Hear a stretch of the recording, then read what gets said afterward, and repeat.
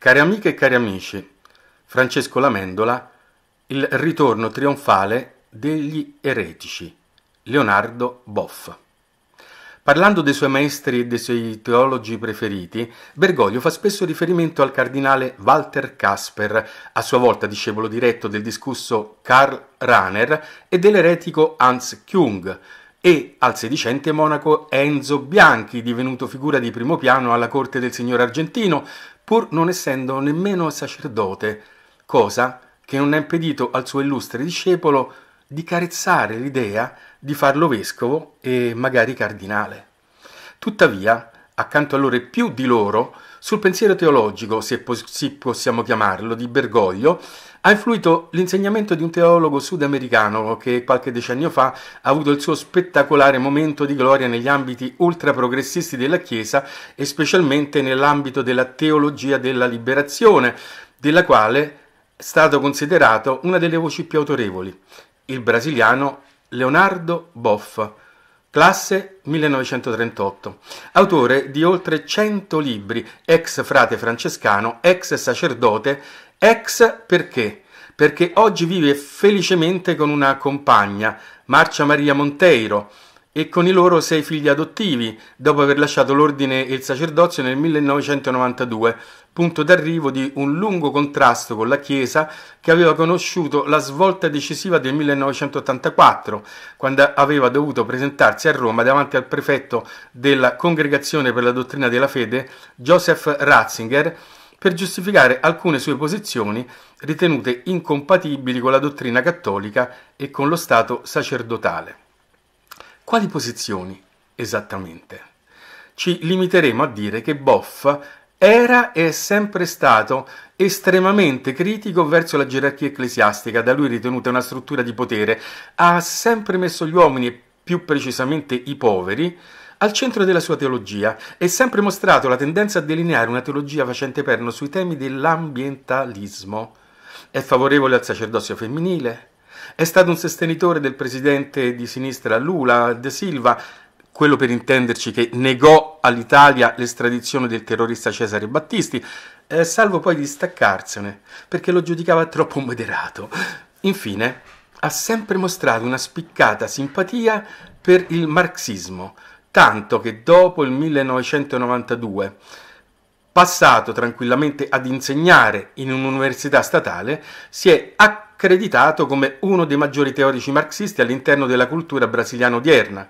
Ebbene, sono tutti temi costanti nella pastorale, si fa per dire, del signor Bergoglio. I poveri, ambiente, donne, sinistra, la critica incessante al clericalismo e al conservatorismo della Chiesa, vista quasi come un'entità nemica, una cittadella da prendere d'assalto. Su Ratzinger il giudizio di Boff era molto duro, perché lo accusava di concepire una Chiesa fuori dalla storia. Ma anche il giudizio su Giovanni Paolo II era duro perché a suo parere aveva tradito il famoso spirito del concilio, tentando di riportare la Chiesa su posizioni preconciliari sta di fatto che Bergoglio ha sempre parlato con stima e simpatia di questo ex francescano ed ex prete, tentando in ogni modo di riabilitarlo. Per dare un esempio delle idee di Leonardo Boff, all'epoca in cui era particolarmente in auge, ecco cosa scriveva verso l'inizio degli anni 70 sul tema della speranza cristiana. La speranza si fonda esattamente sulla differenza tra quello che già è e quello che ancora non è ma è possibile. In quanto la speranza vede il futuro e il regno già presenti in mezzo a noi, nel bene, nella comunione, nella fraternità, nella giustizia sociale, nella crescita veramente umana dei valori culturali, nell'apertura dell'uomo al trascendente. Essa ha motivi per celebrarlo e festeggiarlo nella gioia serena e nel tranquillo godimento della sua manifestazione. Solo la fede cristiana ci permette di gustare Dio nella fragilità umana e di festeggiarlo nella caducità della figura di questo mondo che passa. Questa critica conferisce libertà al cristiano. Tutto è relativo in questo mondo. Se paragonato a Dio e a ciò che Egli ci promette, è relativo alla Chiesa con i suoi dogmi, sacramenti, gerarchie. Sono relativi i valori culturali, morali, relativo allo Stato, con tutta la sua prepotenza, istituzioni, ideologia. Con ciò non si vuol dire che queste realtà terrene non abbiano importanza, esse sono importanti, poiché in esse troviamo mediato l'assoluto. Ma non sono l'assoluto e non possono esigere totalmente il cuore dell'uomo. Questo è stato fatto solamente per Dio. Lui solo risponde pienamente agli aneliti profondi dell'uomo. Ecco, eh, crediamo che questa pagina basti e avanzi per capire il genere di cristianesimo di Leonardo Boff e che tipo di teologia sia la sua, che pure gli ha dato un momento di grande celebrità mezzo secolo fa, quando era considerato una delle figure di spicco della teologia di liberazione e di tutti i cattolici progressisti, non solo in America Latina, anche in Europa, gli riconoscevano un ruolo di primo piano nel preteso processo di rinnovamento post-conciliare. Cominciamo partendo dal fatto che il suo discorso ruota attorno alla speranza, ma francamente non si capisce a che tipo di speranza si riferisca, non solo perché la scrive con la lettera minuscola, ma per come la descrive.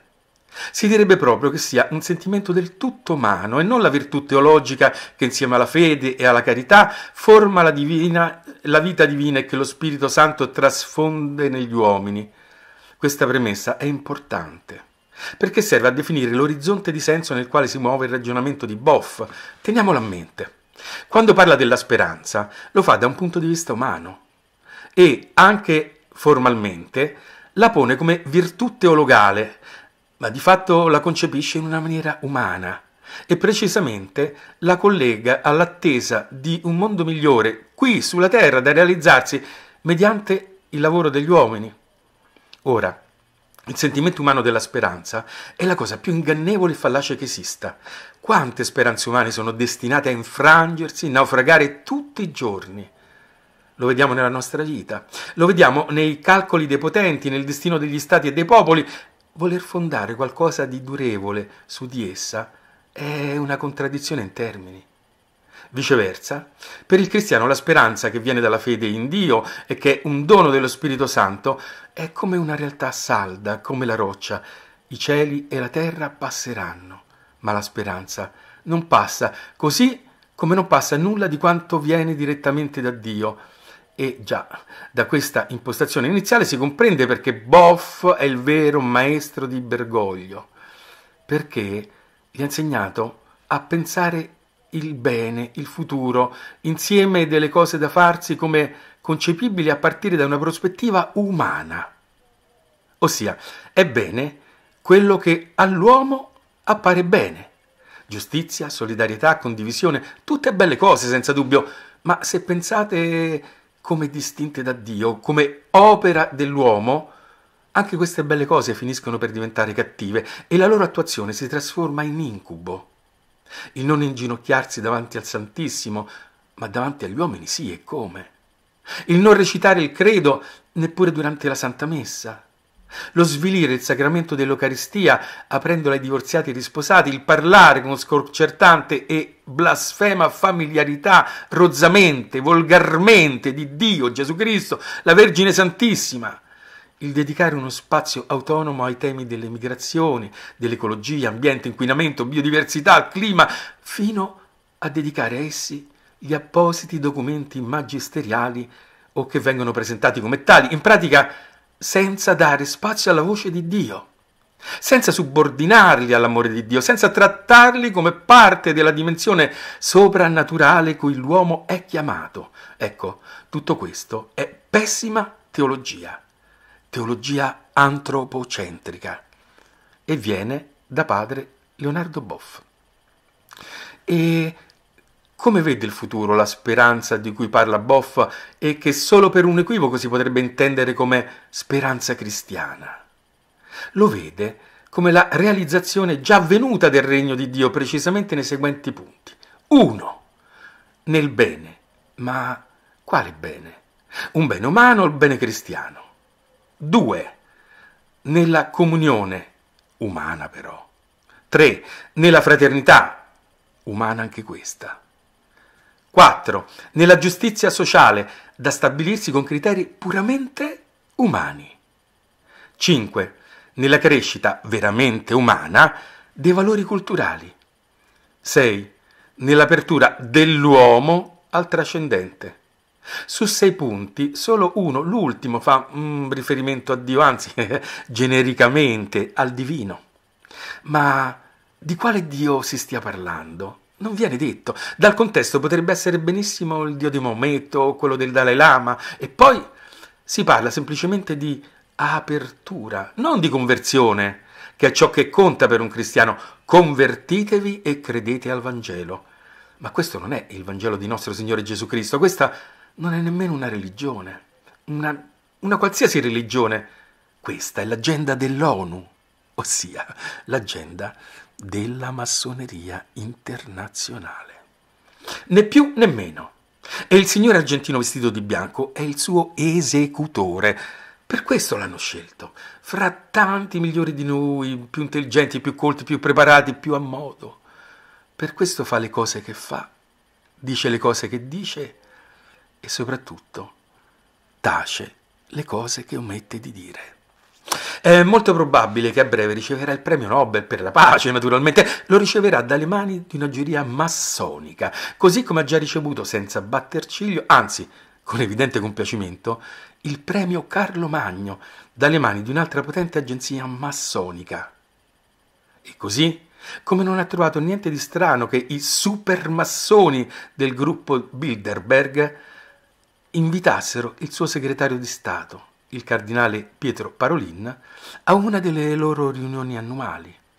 E nel corso di queste riunioni discutono a porte chiuse, in ultima analisi decidono i destini del mondo, come a dire che il Vaticano di questi tempi deve essere considerato a tutti gli effetti, ormai alla luce del sole, una delle maggiori centrali della massoneria internazionale. E a questo punto non c'è neanche bisogno che il Vaticano ritiri ufficialmente la scomunica emessa da Clemente XII nel 1738 e in seguito più volte rinnovata ai cari fratelli massoni, come li chiama alquanto familiarmente e affettuosamente il cardinal Gianfranco Ravasi, autorizzando Parolin a recarsi alla sessantesima riunione del Bilderberg, rigorosamente a porte chiuse, rigorosamente senza partecipazione della stampa, come in tutte le altre 59, è come se Bergoglio avesse sdoganato la massoneria tutta intera, ligio al suo motto, abbattere i muri, gettare sempre ponti. In questo caso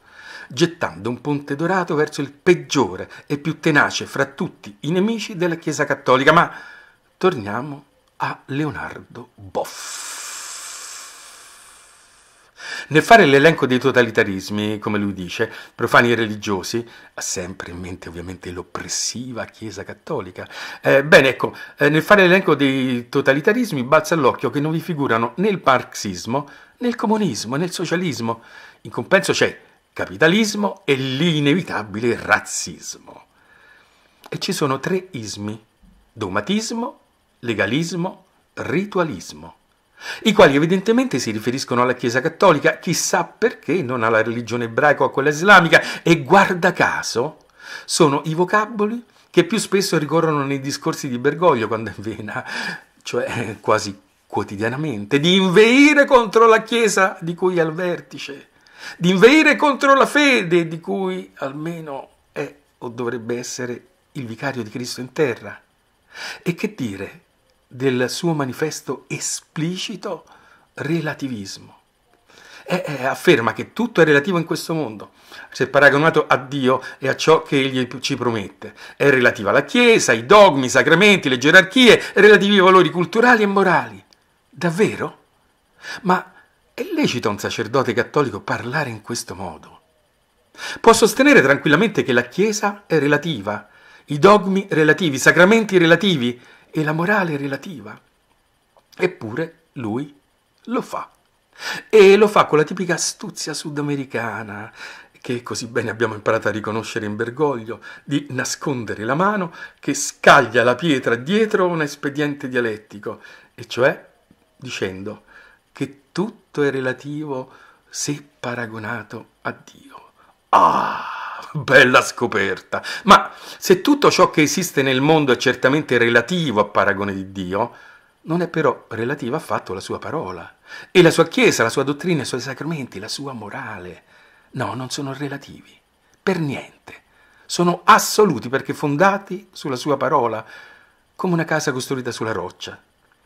Relativi dogmi, cioè la dottrina, ma quando mai? Se così fosse, ogni epoca avrebbe la sua dottrina, il suo cristianesimo, il suo Vangelo. Relativi sacramenti, ad esempio l'Eucaristia. Ma questa è una bestemmia vera e propria. Che cosa intende dire il signor Boff? Che per alcuni c'è la presenza reale, mentre per altri la Santa Messa è solo un'allegoria dell'ultima cena, un simbolo, una commemorazione alla maniera protestante. A ciascuno secondo il suo estro, ciascuno la pensi come gli pare e piace, ma che questo non è cattolicesimo, questa è una delle tante sette di matrice luterana e calvinista, c'è solo l'imbarazzo della scelta. Infine, cosa vuol dire che ogni epoca ha i suoi valori, la sua morale, che anche per il cristiano, bene e male, non sono assoluti, sono relativi. Ecco dove porta l'idea tipicamente raneriana e conciliare della storia che si fa chiesa, e non della Chiesa che illumina la storia, alla totale storicizzazione della dottrina, della pastorale, della stessa etica. Che dire infine del concetto dello humor del cristiano? Humor derivante dalla convinzione che nel mondo non vi sia niente di tragico perché tutto è nelle mani di Dio. Ecco, qui siamo proprio a metà strada tra bestemmia e vaneggiamento, viene il dubbio che chi scrive quelle cose non sia del tutto in sé. Certo che ogni cosa è nelle mani di Dio mm, esiste, però per volontà e perdono di Dio stesso la libertà umana. E dalla libertà umana deriva la possibilità di scegliere il male anziché il bene, l'ingiusto invece del giusto, il falso invece del vero, il brutto invece del bello. E tutto questo non è terribilmente tragico. Dove vede lo humor il signor Boff? Che cosa c'è di umoristico nel peccato originale, nel fratricidio di Abele da parte di Caino, nel peccato in generale? Ma cosa c'è di umoristico nel giudizio di Dio e nell'alternativa per l'uomo tra paradiso e inferno?